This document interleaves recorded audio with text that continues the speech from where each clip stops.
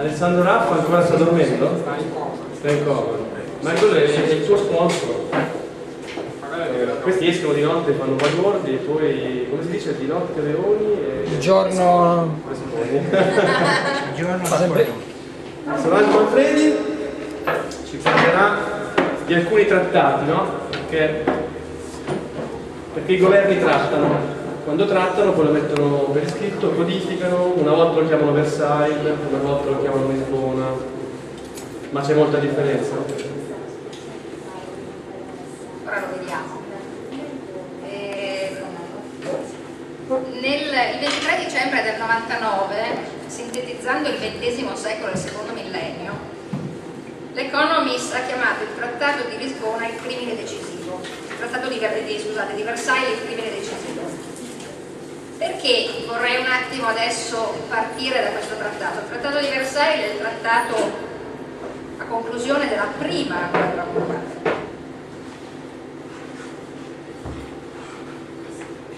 Iniziamo subito col dire che il,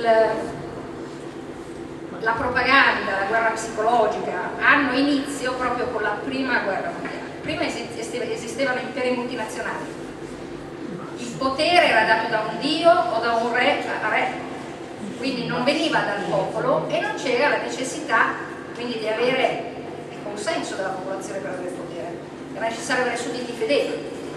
Poi iniziano le idee illuministiche, le idee democratiche, questo cambia. E con la prima guerra mondiale per la prima volta si ha l'esigenza di coinvolgere tutta la popolazione in una guerra con lo sviluppo delle idee democratiche e la necessità di ottenere il consenso della popolazione nelle, negli stati democratici per avere il potere, si sviluppano anche tutte quelle che sono quelle, la psicologia comportamentale. Prima c'era solo una psichiatria criminale, no? si studiava il criminale ma non si studiava la massa. Con questa nuova esigenza gli psicologi iniziano a studiare la massa, cioè iniziano a studiare come psicologicamente reagisce la massa, perché è importante perché se il mio potere deriva dalla massa io devo sapere come rapportarmi con lei, anche come manipolarla. Scoppia la prima guerra mondiale, è la prima volta che si ha l'esigenza di coinvolgere tutta la popolazione in una guerra, quindi non solo gli eserciti ma anche le retrovie, le industrie. La prima agenzia di propaganda eh, eh istituita da Wilson nel 1916 Qui era stato eletto garantendo che non avrebbe portato gli Stati Uniti nella guerra e aveva bisogno di avere il consenso della popolazione per entrare nel primo conflitto mondiale. La propaganda che applica tutte quelle regole psicologiche che nel secolo precedente erano state sviluppate, Le Bon, Pallock, psicologia delle masse, psicologia comportamentale, è così efficace che in soli sei mesi Stati Uniti, la propaganda iniziò come anti-tedesca, non solo iniziarono a sorgere decine di, di associazioni patriottiche, ma si scatenò un odio così profondo nei confronti del popolo tedesco che addirittura impedirono all'orchestra di Boston di fare parte. Pensate a che livelli. Quindi scoprirono questa arma straordinaria. Perché vado a Versailles? Ora ve lo, ve lo spiego subito. Nel 1918 l'esercito tedesco è economicamente stanco, ha quasi esaurito tutte le sue risorse, ma militarmente è ancora ben messo. Alcuni territori in Occidente, Oriente, i Balcani sono suoi. Economicamente però è stanco, i soldati normalmente molto precisi iniziano addirittura a disertare a mucchi. Quindi Wilson dice fermiamo la guerra, io mi presento con questi 14 punti Firmiamo questo armistizio? Leggono questi 14 punti e decidono di accettare. La guerra finisce. Questi 14 punti arrivano, poi devono essere trattati dai popoli vincitori. L'idea dei 14 punti arriva a Versailles, al tavolo dove si tratta la pace, e vengono completamente stravolti. Completamente persone che sono al tavolo della pace. Non sono persone cattive o stupide, sono persone da una parte che hanno una forte esigenza di dimostrare al popolo, per la prima volta coinvolto tutto nella guerra, che la guerra non è stata inutile, per avere il consenso per le elezioni.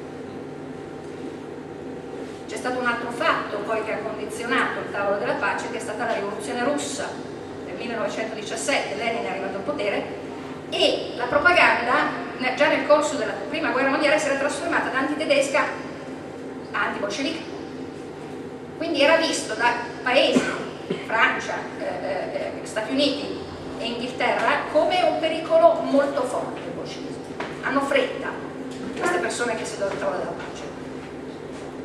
Hanno fretta di concludere questa, questo, questo trattato di Versailles che voleva costituire una sorta di Unione Europea che doveva servire sia per evitare nuovi conflitti, e questo era giusto, sia però per contenere e arginare la rivoluzione bolscevica perché si aveva il timore che potesse contagiare il eh, continente europeo.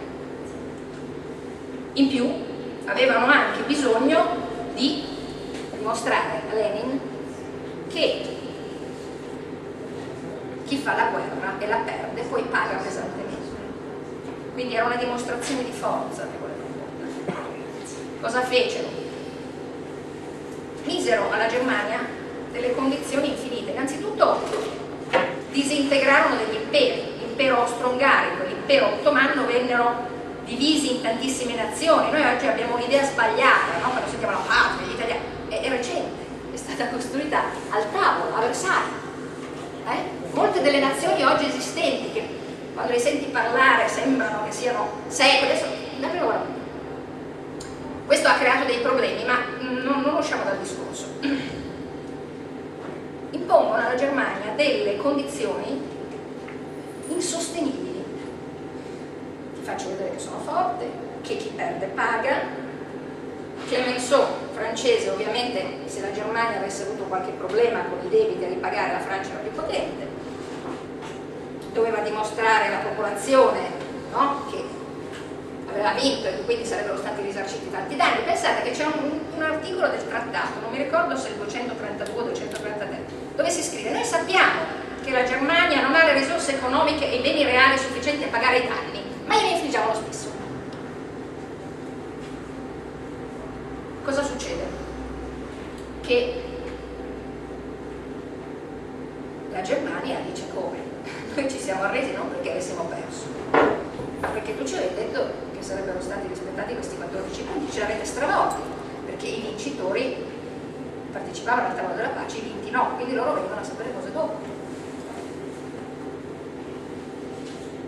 Le condizioni imposte dalla Germania erano impossibili, in realtà non si voleva, cioè erano state Wilson e George inglese e americano avevano messo in campo dei fini avvocati, dei compilatori che dovevano fare degli scritti quasi incomprensibili perché poi non fossero realmente applicate, però dovevano spaventare lei, la, la, la Russia con questo sistema.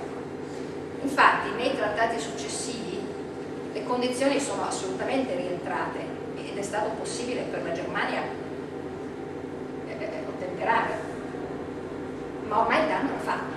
Quando mi riferisco a danno, a che cosa mi riferisco?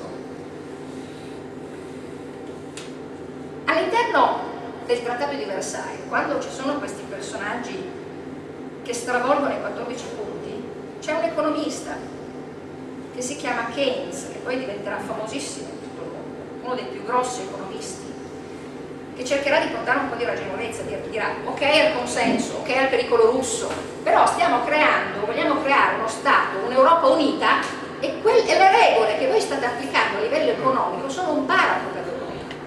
State trasformando questo trattato in un documento vendicativo per motivi personali e non o di paura che porteranno, non c'è una sola regola economica valida per i paesi, state distruggendo tutto, non riesce a riportare la ragionevolezza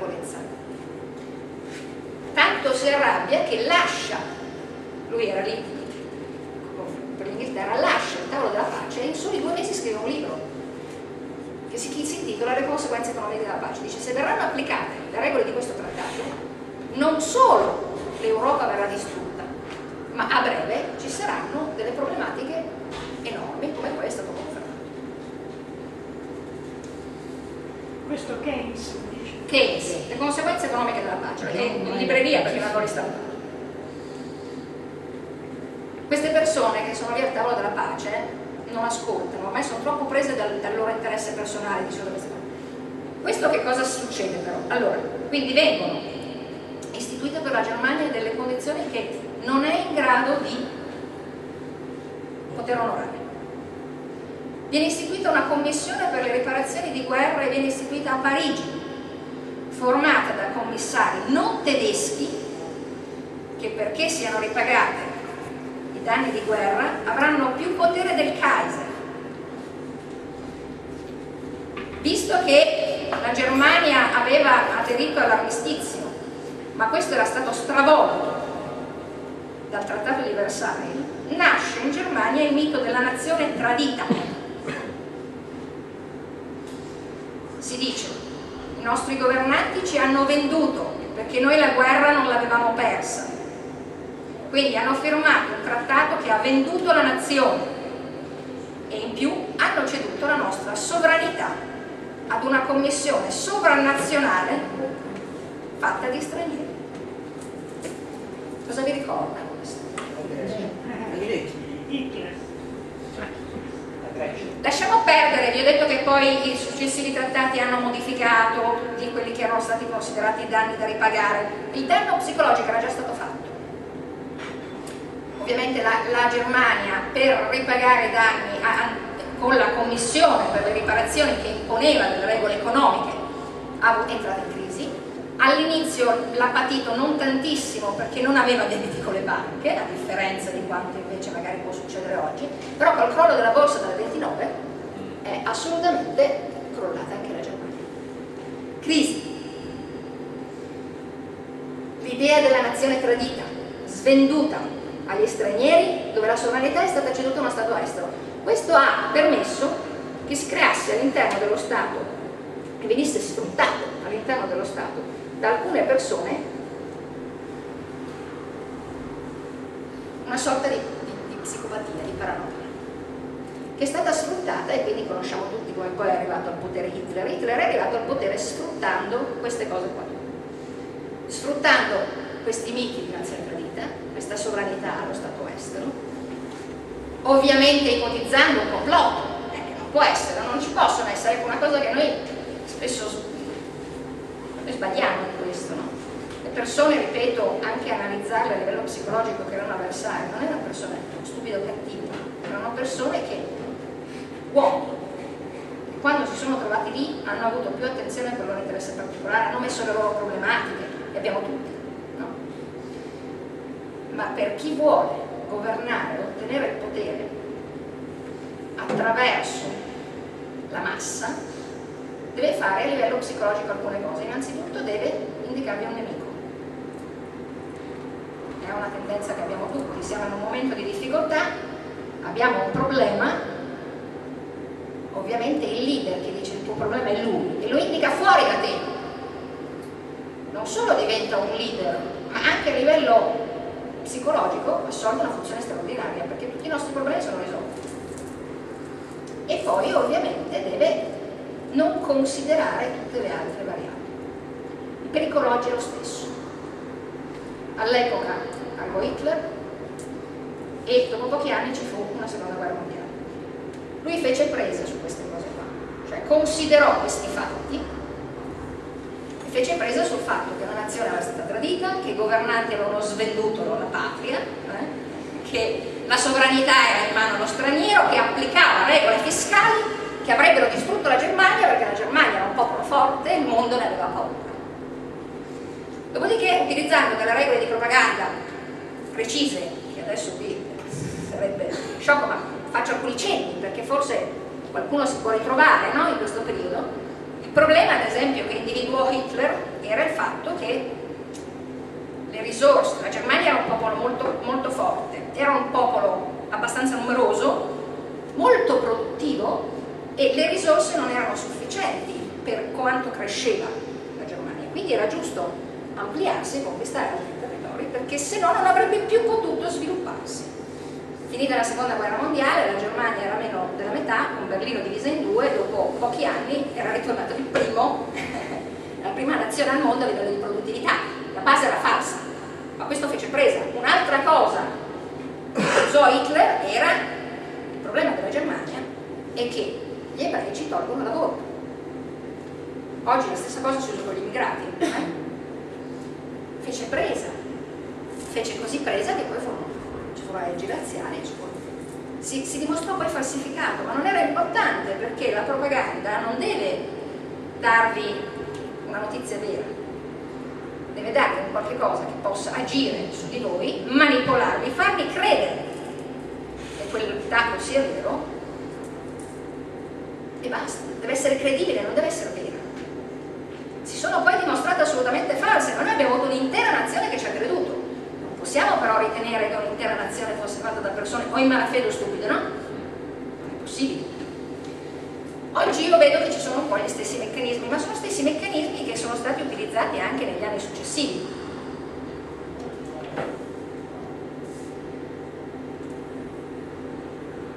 Versailles aveva queste problematiche. Vi ho accennato prima, poi oggi in un'ora è difficile entrare nel dettaglio, però non fu fatto con un complotto all'origine. Fu il risultato di fretta e debolezze personali degli uomini seduti al tavolo della pace. Interessi personali, debolezze, paure.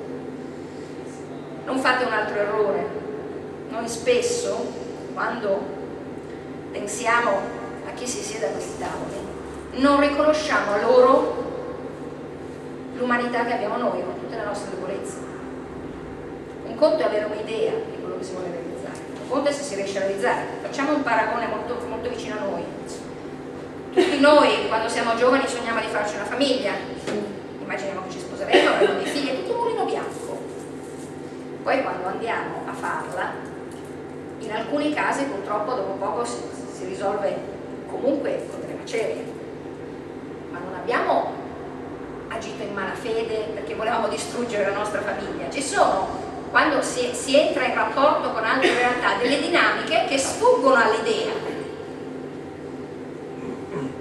Oggi sta succedendo la stessa cosa, c'è Lisbona. Lisbona è stata firmata dai governanti evitando un referendum e questo ha portato molti a dire la patria è stata svenduta, è stata tradita non discuto se sia giusto o non giusto, dico quello che è. La sovranità è stata ceduta a un organismo estero che impone delle regole economiche che ci stanno strangolando e inizia a sentire molta gente che riprende le stesse tematiche. Allora inizia nelle campagne dicendo il problema dell'Italia è l'immigrato. È stata presa da Hitler, è sempre uguale. È comunque una cosa che fa molta presa perché? Perché è una persona diversa, perché gli si può attribuire a qualsiasi cosa. Un'altra cosa che sento e che mi terrorizza personalmente e che inizia a girare, nel mondo siamo troppi, le risorse non sono sufficienti. Siamo 3 miliardi in più, e allora? a parte il fatto che non è supportata. Io parlavo a un convegno e uno mi ha detto io non, non trovo dei dati precisi, fatti, e comunque anche su quelli ci sarebbe da discutere, perché poi vi dimostrerò che cosa si può fare a livello scientifico.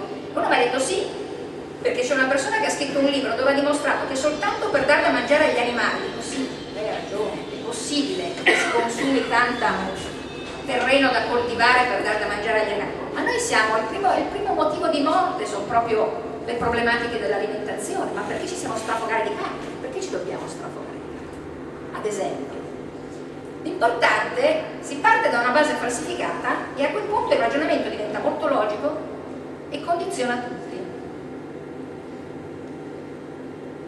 Ci sono dei protocolli che vengono utilizzati per condizionare la popolazione. E il nostro primo ministro, quando non era ancora primo ministro, durante un'intervista alla, Lewis, disse che l'Europa per andare avanti ha bisogno di crisi perché soltanto creando delle crisi e mettendo la, la popolazione, la persona in una situazione di difficoltà, di tensione, di paura, questa potrà accettare di cedere delle cose sue in cambio di un ritorno alla pace. È vero, questo è un meccanismo di guerra psicologica. Il primo obiettivo dell'operatore psicologico è la persona frustrata, per un semplice motivo.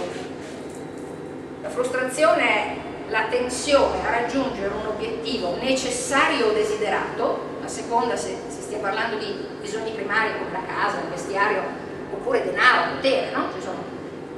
e non si raggiunge. Questo cosa, cosa crea nella, nella, persona? Crea una tensione come una molla, aumenta sempre di più, viene schiacciato.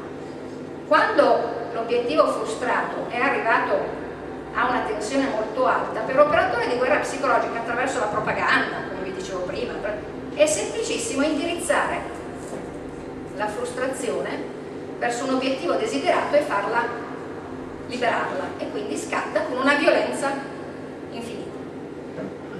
normale, noi tutti quando siamo in una situazione di difficoltà cerchiamo in qualsiasi modo di uscire da quella situazione più in fretta possibile e cerchiamo in qualsiasi modo qualcuno che ci indichi la strada. Lo sanno gli operatori e operano perché prima ci sia questa compressione e poi per indicarmi la strada.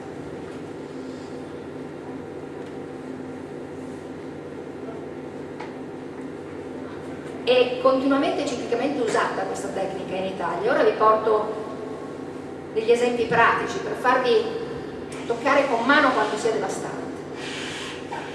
Innanzitutto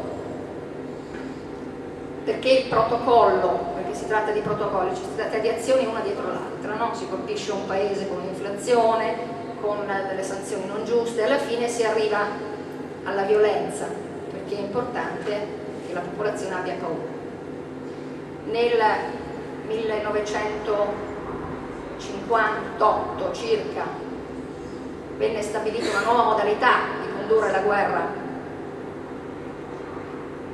occulta, quindi la guerra psicologica, la guerra non ortodossa all'interno del nostro paese, io sto parlando del nostro paese. Eh? Poi, attenzione, la psicologia ormai è uguale dappertutto, noi viviamo attraverso la televisione con format e quindi quello che oggi vale come arma psicologica in Italia vale in un altro paese, una volta non era così perché si doveva conoscere le basi culturali. Vi faccio un esempio eclatante, la campagna per la candidatura di, del Presidente Obama è stata fatta da un'agenzia di marketing, è costata di svariati milioni di dollari ed era un pacchetto lo stesso pacchetto era stato venduto e utilizzato pochi anni prima dal presidente della Bolivia che con quel pacchetto vinse le, elezioni. Lo slogan era Ya se puede mhm. e l'altro Yes we can. Non hanno più bisogno di cambiare in base alla popolazione, alla cultura e alle tradizioni meccanismi psicologici su cui influire sulla massa, perché attraverso la televisione e i format rispondiamo tutti allo stesso modo. Siamo stati globalizzati. Nel 1000 1900, eh, intorno agli anni, fine, fine degli anni 50, vi ho detto cambia la guerra, diventa guerra non ortodossa e il manuale di guerra psicologica americano nel Field Manual 3031 nelle operazioni di stabilizzazione per i, per i paesi scrive che è un fattore interno stabilizzante alzare il livello dello scontro fino a giungere al terrorismo. Perché? Perché per la conquista totale della massa la dottrina prevede, oltre al ricorso all'azione psicologica, il ricorso a forme di terrorismo spietato e indiscriminato.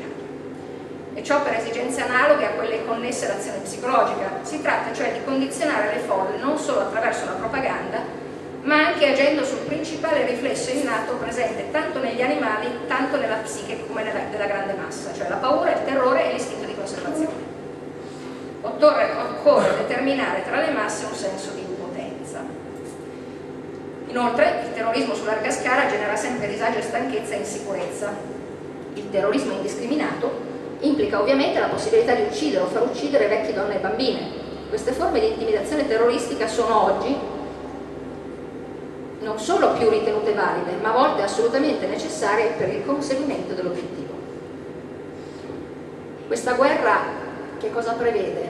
La guerra ha bisogno di armi per essere combattuta La guerra, questo tipo di guerra, trasforma l'uomo stesso in arma, sia che l'interessato ne abbia conoscenza o meno. Nel secondo caso l'uomo arma diviene palesemente un robot, ma anche nel primo finisce spesso per diventarlo, perché se conserva la, la coscienza del proprio stato, rinuncia tuttavia a una volontà propria e quindi rinuncia a essere libero.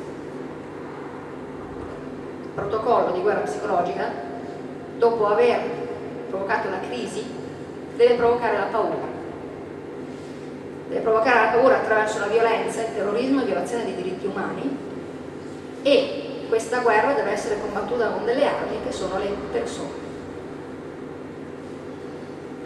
Le persone vengono caricate da leader psicopatici, perché quando si scatena l'aggressività nella massa, è una regola psicologica, vengono selezionati leader psicopatici, che sono funzionali al progetto e che avranno la funzione di indicare una massa spaventata, stanca in crisi, un obiettivo contro cui andare. L'immigrazione, abbiamo svenduto, eh? è un potere infinito che hanno. Il pericolo oggi è questo. Quanto è successo dopo Versailles, che aveva creato una situazione analoga a quella di oggi, sta per riproporsi. Se si conoscono i meccanismi si conosce la storia passata, si vede. Chi conosce la guerra psicologica, chi conosce termini della propaganda, vede? Abbiamo detto, io ovviamente per farvi toccare con mano quanto sia potente quest'arma, oltre a avervi indicato come vengano scelte per combatterla le persone, in passato in Italia è stato fatto ed è stato fatto in maniera atroce ed è stato fatto colpendo un'intera generazione. Infatti, nella preparazione di questa guerra c'è scritto innanzitutto si sceglie un gruppo che può essere politico, culturale, religioso, etnico, di classe oppure un intero gruppo di giovani, un'intera generazione. Negli anni 60 venne scelto come gruppo un'intera generazione. Ci sono dei protocolli, loro sono stati desegretati? In cui si scelse di utilizzare come arma per stabilizzare il nostro paese i giovani eh, ad ottenere gli scopi prefissi occorre servirsi con la dovuta accortezza di metodi scientifici come la propaganda e la psicologia sociale. La propaganda non deve basarsi sul ragionamento, ma deve colpire attraverso elementi irrazionali e inconsci. Da qui la necessità di, prefer di preferire al ragionamento lo slogan, il simbolo e qualcosa che evochi concetti ed esigenze elementari. Sostengono i maggiori teorici di propaganda e di psicologia sociale che non basta affatto presentare tesi positive, no? Ma è necessario dare in pasto alle masse dei feticci da abbattere. L'avversario va identificato e segnato a dito. Se poi non ha un volto ben preciso, tale volto gli va senz'altro attribuito. Che sia naturalmente brutto, stupido, ridicolo, mostruoso e la gente deve imparare ad odiare. Queste sono delle tecniche che a livello generale già vi aiutano, cioè se io trovo un leader che mi dice il problema è lui, il nemico è lui, eh, torturarlo è legittimo, eh, ci porta via il lavoro, oppure io inizio già a avere terrore.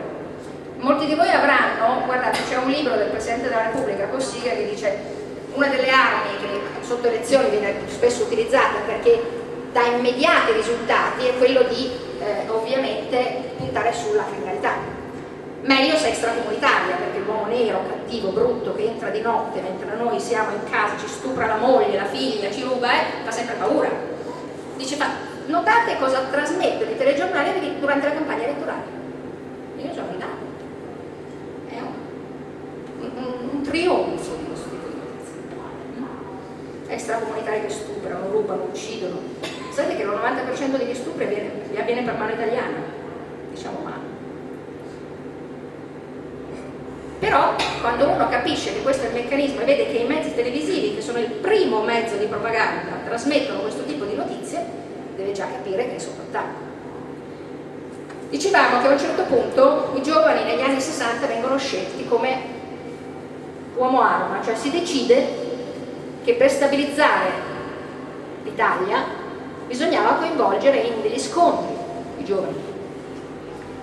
Giornali e movimenti di estrema destra e di estrema sinistra, i cui EP accesi dopo si è scoperto avevano all'interno o all'apice uomini dei servizi segreti, iniziano a muoversi contemporaneamente fomentando paura, orrore, odio, urgenza dell'azione soprattutto.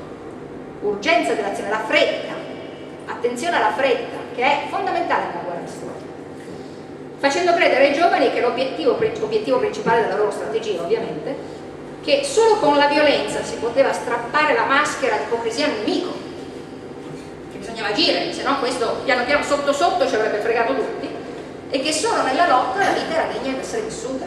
Se voi andate a prendere i giornali dell'epoca, immaginate la, la violenza e la forza su dei giovani di 16, 17, 18 anni. Devi salvare il tuo paese. L'attacco è qui, che sia fascista, che sia comunista, devi combattere il futuro. Ci sono dei, dei, dei meccanismi, si va a prendere questi giornali che io ho ripreso per un libro che sto scrivendo che sono, fanno venire brividi Tant'è vero che molti giovani che cosa fanno? Cadono nella trappola e quando si va a sentire le loro testimonianze dopo, viene da piangere, vedete? Ad esempio c'è un ragazzo che dice pensavamo che stare con gli adulti che facevano questi progetti, siamo negli anni 60, 70, no? Quindi, eravamo adulti anche noi. Insomma, ci si dava importanza a tutto ciò contribuiva al fatto anche solo di vedere toccare armi vere, stare in mezzo a gente che sapeva usarle e aveva esperienza in materia di guerra. Credevo inoltre che non esistesse uno stato di libertà e che bisognasse guadagnarselo ribellandosi all'ordine costituito. Eh sì, perché nel, in quel periodo gli agenti dei servizi segreti iniziano a sviluppare delle tecniche a destra e a sinistra, saranno poi dello stesso servizio segreto, si fingeranno di destra e di sinistra, dove si dice lo Stato è in pericolo abbiamo bisogno di te per salvarlo, per il tuo futuro e il tuo domani. E li coinvolgono, magari questi sono personaggi come, che in passato avevano avuto una gloria, non so, Borghese eh, o altri, e gli dicono guarda ti faccio vedere le armi, racconti di guerra. Poi per, essere, per condizionare a entrare ancora di più dentro i giovani, che cosa fanno? Iniziano con le eh, commemorazioni, le liturgie, che hanno una forza evocativa nei giovani incredibile perché utilizzando quel meccanismo psicologico avrebbero avuto ancora più effetto. Queste operazioni di guerra psicologica sì che, poi alcuni studiosi l'hanno rilevato, come eh, hanno la stessa funzione che, che, che, che ebbero in passato nella Repubblica di Weimar, cioè quella funzione di attribuzione di senso alla vita che un tempo avevano avuto le lotte di religione. Ora io, ci sono alcune persone che forse se lo ricordano, io ero giovane, giovane appena nata, sono nata nel 69, eh, tutte quelle davanti all'altare, i fiori, eh, tutti in divisa, tutte queste commemorazioni, queste celebrazioni, nei giovani avevano una, veramente erano ipnotiche, fatte apposta. Tant'è vero che all'epoca molti hanno notato come i giovani si schierassero a destra o a sinistra quasi per caso a seconda dell'amico che si avvicinava prima, quello che condizionava prima, la loro principale azione fu nelle scuole, nei licei.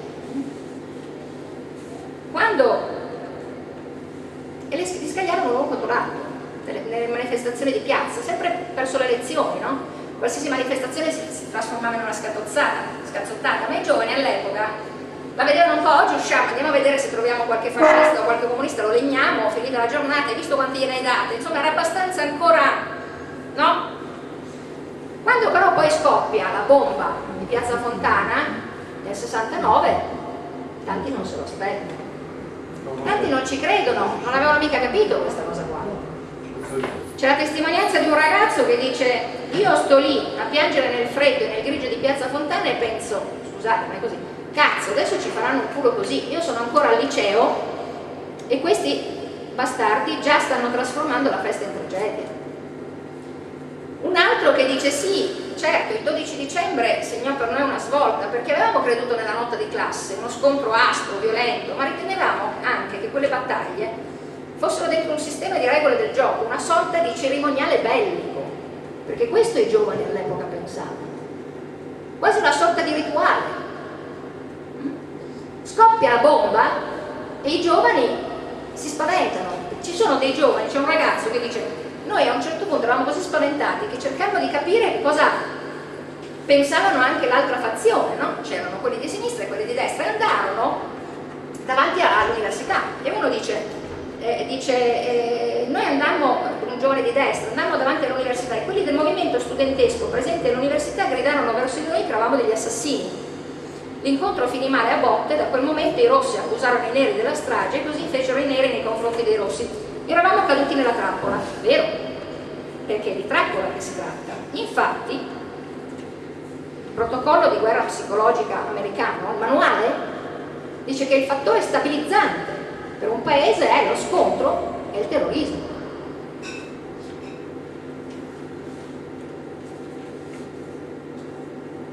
Si passa al livello successivo con la strage, i ragazzi non se lo aspettano, verrà poi, eh, in realtà negli ultimi anni viene stabilito che quella fu una strage di Stato organizzata da elementi della CIA e della NATO. Uno accusava l'altro, molti di loro scesero e accettarono il terrorismo perché dissero loro sono stati primi, a livello psicologico era questo che voleva. Si formarono i gruppi armati, adesso non voglio farvi la storia completa, la cosa più, più atroce di quel protocollo, dove non c'è stato niente di spontaneo, i giovani sono stati usati come arma, inconsapevoli spesso, è stato che a un certo punto molti giovani si sono ribellati perché hanno capito che erano stati traditi. Molti altri giovani invece pur avendo un impegno politico avevano deciso di non accettare lo scontro e manifestavano per i propri diritti sacrosanti con la pace. Allora partì un altro protocollo perché era pericoloso, il protocollo Blue Moon. La CIA, prendendo spunto da Edgar Hoover, 40 anni capo dell'FBI, convinto che il consumo di stupefacenti fosse un ottimo sistema per controllare i giovani, apprestò in Italia l'operazione denominata Blue Moon, consistente nella diffusione di sostanze stupefacenti negli ambienti giovanili al fine di provocarne la destabilizzazione e ridurne l'impegno politico. Una concomitante campagna stampa ritrasse i giovani in maniera tale che le rivendicazioni legittime si trasformarono a livello di comunicazione come un'imposizione frenetica di godimenti, droghe e colpi. Ma era un protocollo. Era un protocollo. Addirittura arrivarono al punto che una volta deciso di attaccare un'intera generazione con le droghe, la determinazione del governo statunitense all'uso dell'SID allo scopo di depotenziare l'impegno politico traspare dal documento CIA del 4 dicembre 70, vabbè insomma sono tutti il quale a fronte dell'impressionante estensione della protesta giovanile per la guerra in Vietnam suggerivano nuovi metodi di contenimento della violenza. Nel contempo i giornalisti vicini agli ambienti dei servizi diffondevano nella società americana la convinzione che il dissenso giovanile alla contrarietà alla guerra nascesse da giovani menti alterate dall'LSD. A tale scopo fu diffusa la notizia che la sostanza induceva danni cromosomici al fine di creare il supporto scientifico all'affermazione che il dissenso politico proveniva da una devianza genetica.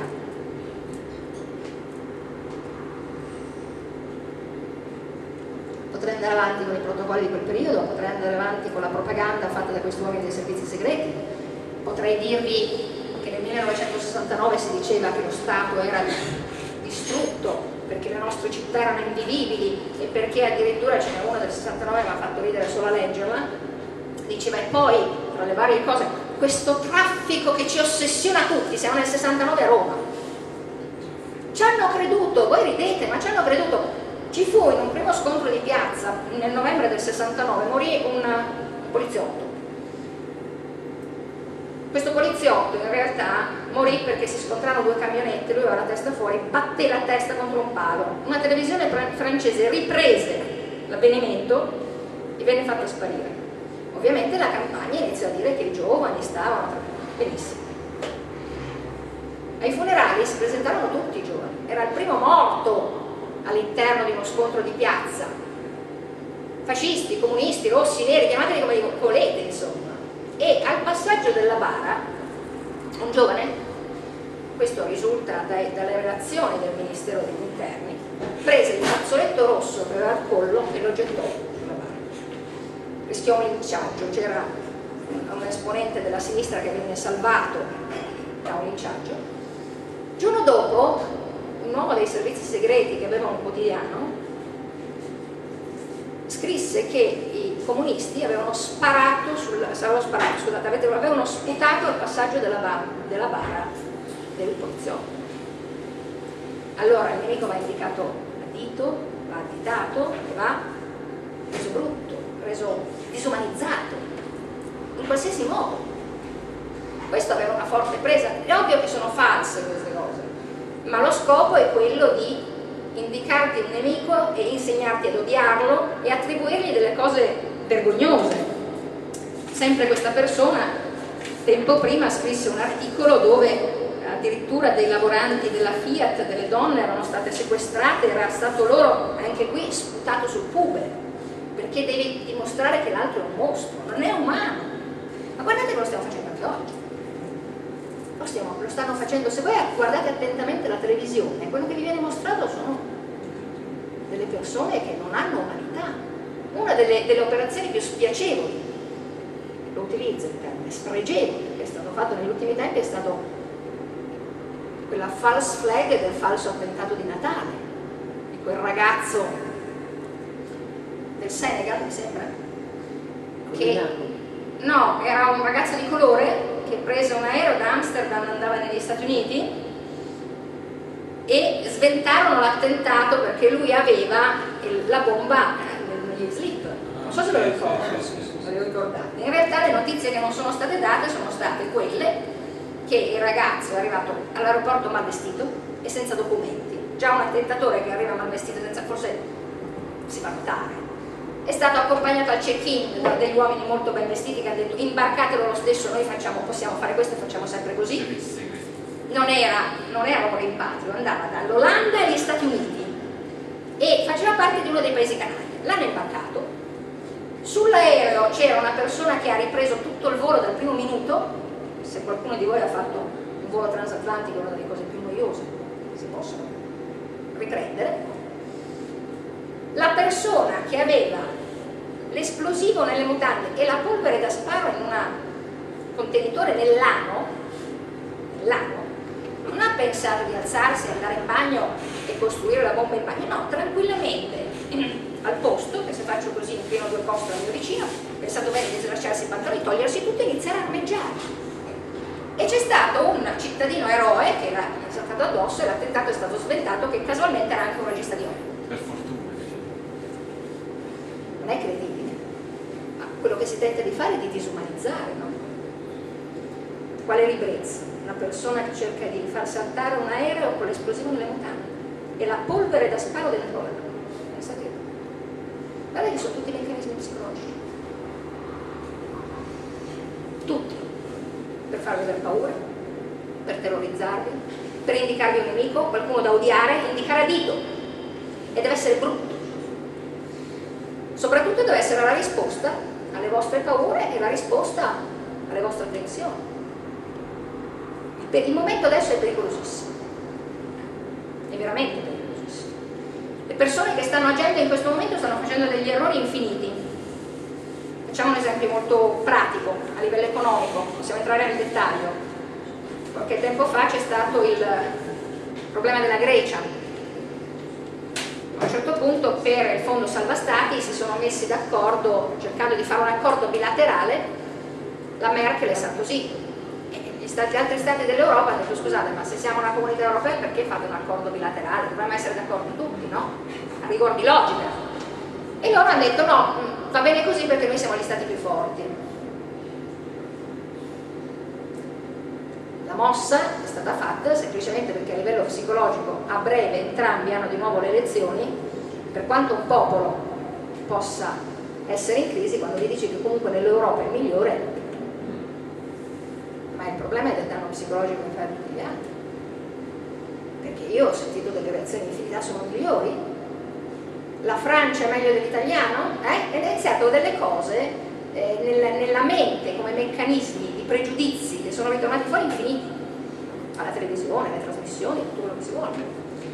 Ehm, c'era il problema se concedere il prestito o no alla Grecia, la Merkel vado in Grecia, non vado in Grecia, ritorno, la Grecia ha un debito pubblico di 340 miliardi di euro, te lo do, non te lo do, forse te lo do, però ci ripenso, ma forse non è così, eh? In questa, in questa manfrina eh, ha fatto oscillare così tanto le borse che hanno perso 2.400 miliardi 340 miliardi di debito. È ovvio che sono delle manovre diverse. Io non credo personalmente che siano delle manovre fatte con un calcolo preciso, io credo che ci siano delle debolezze, degli interessi personali, della scarsa capacità di vedere oltre, ma a noi non interessa questo. A noi interessa oggi sapere che nel 1918 sono stati commessi degli errori, degli errori che, sono, che hanno portato a una risposta e a individuare un problema che è esattamente come quello di oggi. La nazione è stata tradita, i nostri governanti l'hanno svenduta e la sovranità è stata ceduta a uno Stato estero e noi siamo in crisi perché abbiamo un debito e delle risorse, delle situazioni economiche che non possiamo gestire, per di più demandate ad altre fuori dal nostro Stato. Identica allora nacque Hitler sorse il nazismo e ci fu una seconda guerra mondiale. I meccanismi che ha utilizzato per arrivare al potere Hitler sono dei meccanismi che vengono utilizzati oggi. Allora quello che noi non dobbiamo fare è non dobbiamo cadere di nuovo nell'errore. Dobbiamo aver chiaro che le persone che ti indicano una soluzione facile, che ti dice devi agire con la violenza perché devi scendere in piazza, scendete. Scendete, pensate di essere più abili di queste persone, avere una struttura, un'organizzazione più abile di queste persone. Lo sapete cosa significa la provocazione? Vi faccio un esempio, se viene una manifestazione pacifica, passa un provocatore, tanto gli agenti provocatori li abbiamo sentiti, no? li conosciamo, e mette, molesta tua figlia, mette le mani addosso a tua moglie, insomma non reagisci. È un attimo creare una scazzottata con una provocazione. È un attimo.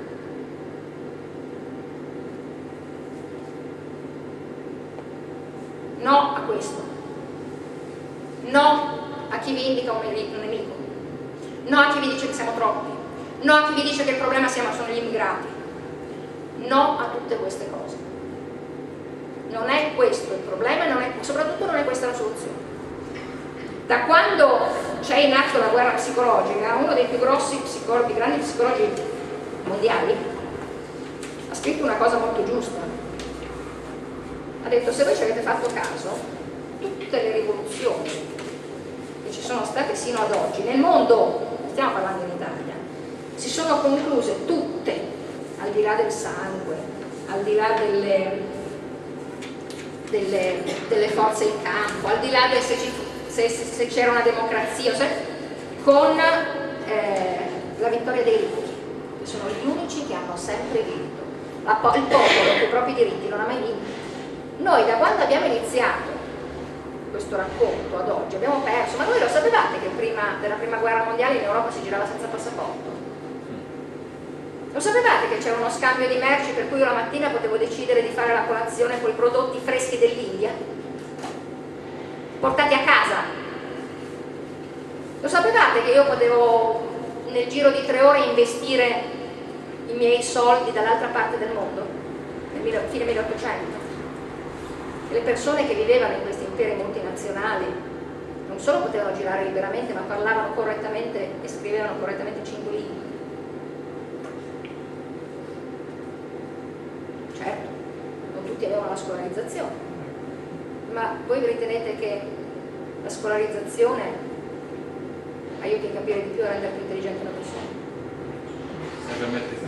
Questa è una delle falsificazioni più grosse. Pensate che Le Bon, che scrisse un articolo un libro bellissimo, La psicologia delle masse, guardate, liberamente scaricabile, scaricabile da internet, facilissimo. Scrisse già nel 1870, Psicologia delle foglie, sì.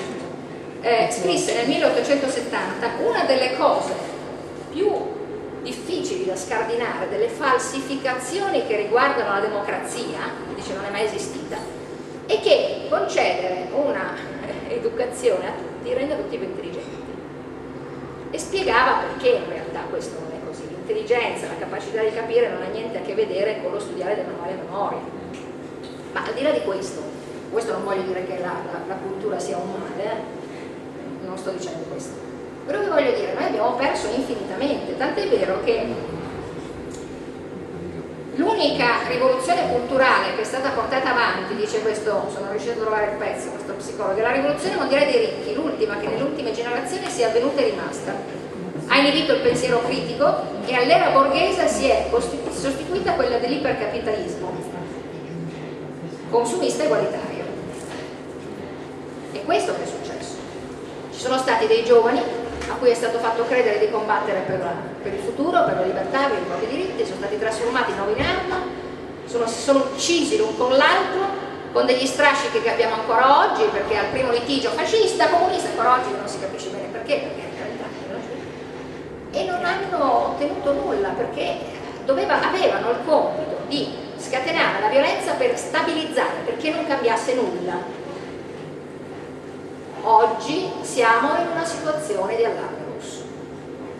Allora, quello che io su cui vi chiedo di riflettere, su cui vi chiedo di fare attenzione di non cadere in questa trappola.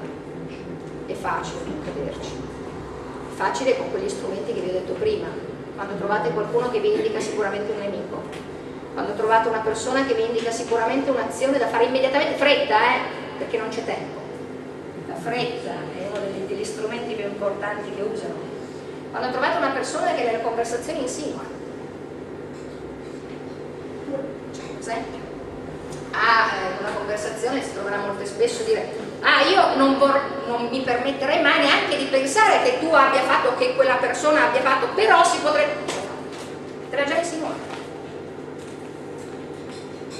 Rileggete Otello, Iago. È un manuale perfetto, che possiamo applicare anche i giorni. È il meccanismo dell'insinuazione, della ripetizione perfetto che viene applicato. Quando voi vedete un leader Innanzitutto chiariamo subito un punto. La persona, una delle, delle, cose più importanti per queste, queste persone è creare un'identità attraverso un simbolo. Noi persone ci sentiamo forti se possiamo raggruppare sotto un simbolo, una bandiera, la patria, ecco questo no. Oggi il vero atto di eroismo, se vogliamo, è costruirsi al di fuori di tutto, al di fuori di una bandiera, al di fuori del logo di un partito, di un simbolo. Voi siete persone e non avete bisogno di questo. Detto questo, tutte le volte che voi trovate qualcuno che dice per risollevare l'Italia e vi, ve lo indica, ve lo indica brutto, o vi insinua, o vi mette il dubbio, o vi dice non c'è neanche bisogno di spiegarle queste cose, sono palesi, no? Spiegami.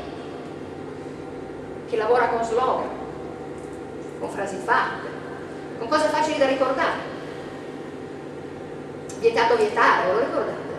degli anni della contestazione. Tutti i giovani dicono, vietato, per il nome della democrazia, ma voi avete idea a livello giuridico, a livello economico, a livello sociale, a livello psicologico, quanti volumi si dovrebbero scrivere, quanti mesi si dovrebbe ragionare per spiegare cos'è la democrazia e se sia mai esistita. Però ci sono delle parole che hanno un potere magico, risolvono tutto perché sono parole generiche che voi riempite come volete. Democrazia, libertà, giustizia, eguaglianza. Eh? Facile. E tutti ci ritroviamo. Quando vedete queste cose qua, se, se, se, se ascoltate il mio consiglio girate alla larga perché è pericoloso. Non fatelo, si sta ricreando la stessa situazione dopo il trattato di Versailles. Se rivedete le stesse dinamiche uscitene, denunciatele e avvertite che vi sta accanto che il protocollo è sempre lo stesso, il meccanismo psicologico è sempre lo stesso e la violenza a cui vogliono portare buona parte della popolazione non è la via. Ci sono delle domande?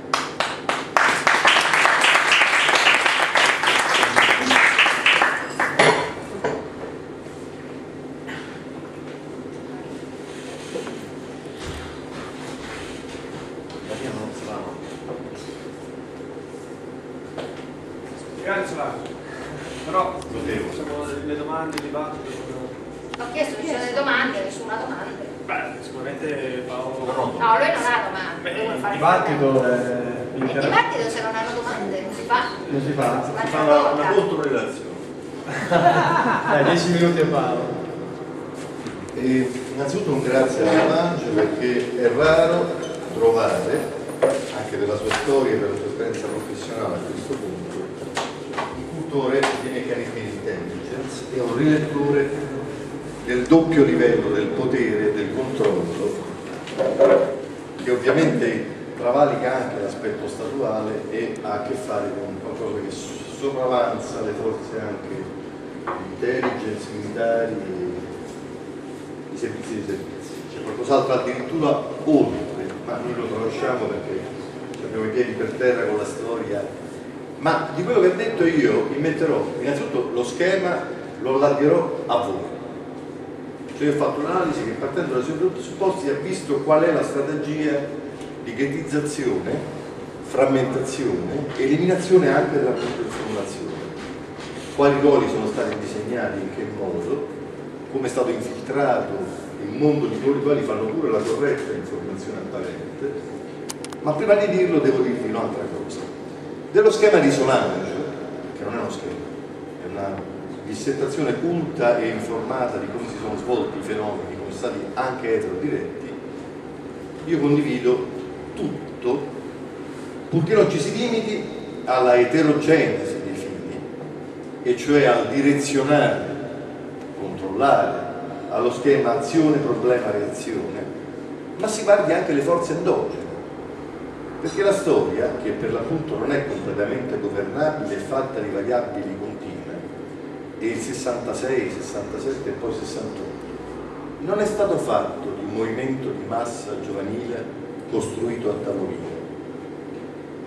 E cioè, in quegli anni, la crisi del modello di sviluppo, la crisi del rapporto tra cultura e sbocchi lavorativi, la crisi eh, che poi sarebbe diventata una crisi non strutturale ma eh, la crisi petrolifera insomma, e concorsero insieme a movimentare masse folle che non agivano in base a un progetto ma erano la risposta collettiva endogena che si verificava in una frattura del modello di sviluppo non avrebbero inventato il progetto che io chiamo caos, che poi è la stessa cosa, ma quello lì direttamente in missione CIA, imbottendo di LSD sperimentato nel progetto PK Ultra milioni di giovani, se non avessero avuto il problema di governare un movimento collettivo puro, la cui forza ideale, la cui forza sociale,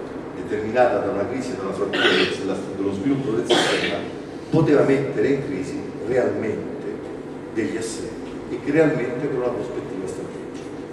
Quindi innanzitutto esiste una forza pura, una forza pulita ed uno schema interpretativo anche di quella, che ovviamente chi privilegia l'aspetto di intelligence eh, mette in secondo piano, però certo se si parla di azione, problema reazione, eh, il problema è creato, ma a monte c'è certamente una spinta endogena pura. E qui faccio la chiosa. Qualcuno disse noi abbiamo un sogno, we have a dream. Io l'ho tradotto in dell'informazione. Esiste un sistema di comunicazione semplificato pure, legato all'utopia, legato ai valori. Normalmente è molto difficile individuare chi utilizza quel linguaggio, ma non è solo il linguaggio del potere. Esiste cioè un sistema utopico di valori, di spinte, che va governato, va eterodiretto, va assorbito. L'altro schema, oltre a quello dell'eterogenesi, define la rivoluzione passiva. C'è una spinta di massa, in parte mi imbottiscono di droga, in parte induco le false eh, teorie ingenue, le false semplificazioni fra sinistra e destra, in parte induco meccanismi violenti che governano, in parte uso il terrorismo, ma certo, signori belli, non volevano la democrazia infatti. Le democrazie si chiamavano non volevano i collettivi degli operai che parlavano di salute e rifiutavano di avvelenarsi con eh, i, i, veleni costituiti dalle vernici che utilizzavano per coprire le, le, Fiat 600 e le Fiat 1, non so come K, quelle ma ancora non c'erano come non appena. E cioè, la storia è sempre più complessa anche del meccanismo di eterogenesi della direzione. E però, se questo hanno fatto, e se io difendo anche le forze endogene, proiettive della storia, e non leggo tutto come, con lo stesso schema tu peraltro, come grande progetto, grande governo e grande deviazione a monte, ma è anche vero che vengono creati grossi movimenti, insurrezioni popolari pagate, insufflate dal basso, e anzi questa tecnica si è sempre più evoluta, loro si sono anche impegnati a inquinare persino questo tipo di conoscenze. E come l'hanno fatto? L'hanno fatto studiando a tavolino eh, come il contropotere informativo, il controsapere, potesse essere ridotto, eliminato, annichilito e per farlo niente po' di meno che hanno gestito la presenza di intelligenze forti e vere proprio nel sapere conto informativo. In questo mio viaggio, in questo mondo, io ho trovato che quasi tutti i soggetti più attivi, badate bene per quello che vi dico, sono soggetti inquinati e inquinati. L'inquinamento riposa nell'essere loro stessi portatori di quel meccanismo controinformativo e contemporaneamente nel deviare il meccanismo controinformativo introducendo elementi espuri. Faccio un esempio. Ci stanno alcuni soggetti del mondo cosiddetto complottista, che non, non rispetto né la parola né la richietta, che hanno avuto un grosso ruolo apparentemente militanti, parlano d'amore, parlano di verità, poi parlano di astrale, poi cominciano a parlare di astronavi.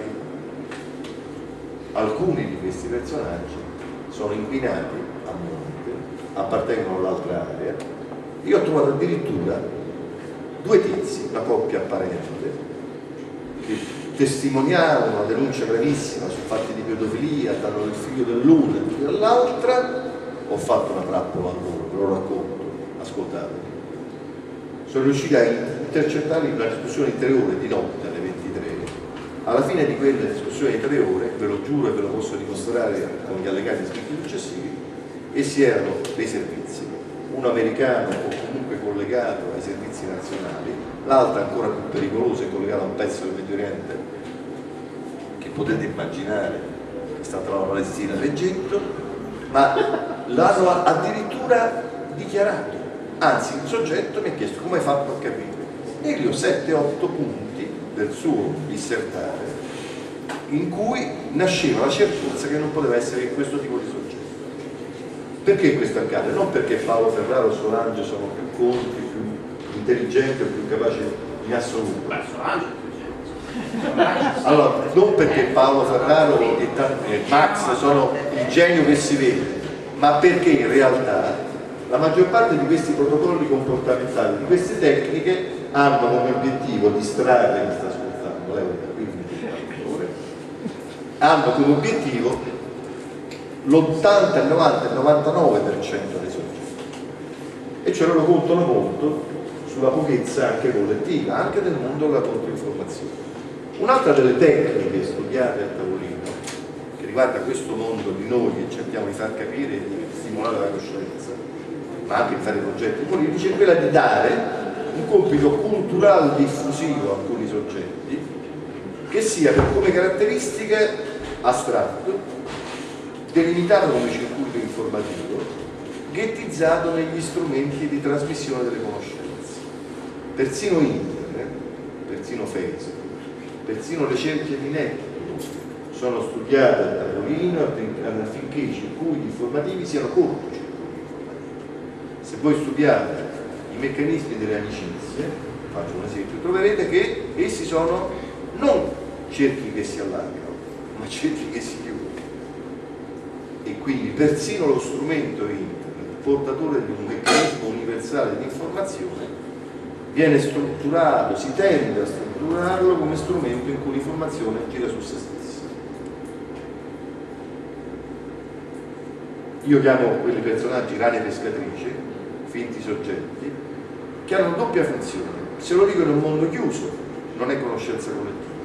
Se dico una cosa più tremenda, sembra uno che informa veramente e alla fine ottengo il risultato di creare un circuito rinchiuso di persone che si raccontano le cose vere altre in una forma mistificata, dando un ruolo, un'immagine, un'identità a soggetti che non la hanno, non la possono avere. Questa cosa accade anche sul piano strategico, culturale, sotto il profilo eh, che io chiamo informativo e formativo.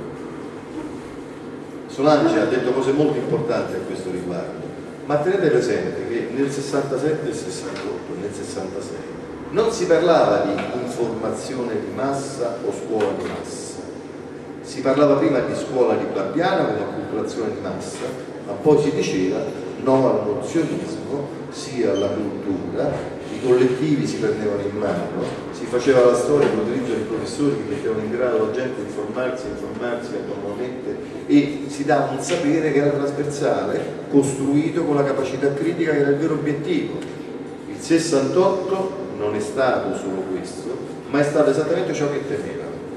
Salto rapidamente perché invitato da Marx a chiudere e vi dico. In questo momento in cui si apprestano a riprodurre i protocolli e gestiscono anche nel mondo nostro un'altra strategia distruttiva, la frammentazione, ognuno portatore di un meccanismo di verità e ognuno portatore di un aspetto potenziato, ciascuno della sua piccola frammento. Loro sperano e si augurano che non nasca un meccanismo di omogeneizzazione, di capacità di lettura globale e sperano e si augurano persino, scusami se ti disturbo, Solange, si augurano persino che il tramandare gli strumenti di controllo, informare e acculturare su questi strumenti, si traduca in un meccanismo il senso di impotenza, e cioè tutto ciò che viene detto ha altre possibili radici, tutto ciò che viene fatto è potenzialmente inquinabile, anche il non fare può esserlo, quindi si può non fare nulla e assolutamente fare tutto sbagliato. Questo messaggio, che è un metamessaggio gestito dall'esterno, è il più pericoloso in assoluto, perché è il messaggio della depressione, il messaggio dell'incapacità di essere soggetti storici, è il messaggio contro il quale io combatto. Abbiamo due ricette, deframmentiamo l'esperienza.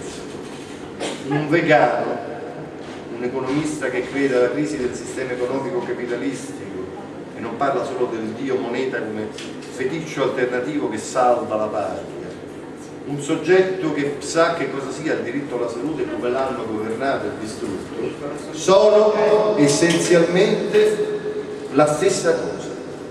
E quindi accelerare oggi una strategia che non è di violenza vuol dire superare immediatamente i ghetti, creare un sistema culturale informativo, gestire un'ipotesi che rompe la comunicazione e dare a tutti quanti il quadro globale.